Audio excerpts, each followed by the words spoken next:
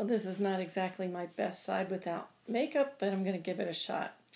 Um, I met Rudy because my father wanted to adopt a dog um, in 2008. And uh, Rudy's my dachshund, and my father had just retired and wanted to adopt a dog that he could care for.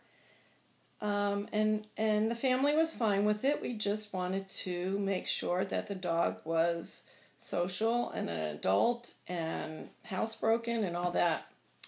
Well, my father fell in love with a puppy mill dog that was never touched by humans and not housebroken. And this is Rudy. Hey, say hi, Rudy. Rudy, say hi. Oh, he's sleeping. Anyway, I'll show him to you in a moment. So, um,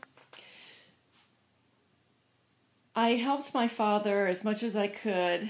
Um, and my father adored this dog. He took him everywhere. He um, played with him. He loved him.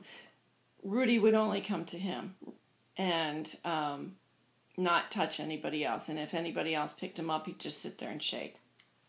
Four months later, my father breaks his leg, is in the hospital for two months, and hence I had to take the dog. I knew I eventually would anyway. We, um, so I bring the dog home against my husband's wishes, who didn't want a dog, and um, my father was in rehab for over two months and realized that he was not going to care, be able to care for this cute little dog because he wasn't going to be able to walk very well for a while. So he, at that point, my husband and I fell in love with Rudy, and um, my asked, my father asked if we could, if we wanted to keep the dog, and if we we said, of course, we're already in love with him, and that's it. So anyway, um, here I am with this dog who um, still shakes and um, he is housebroken at that point. It got him housebroken within a week.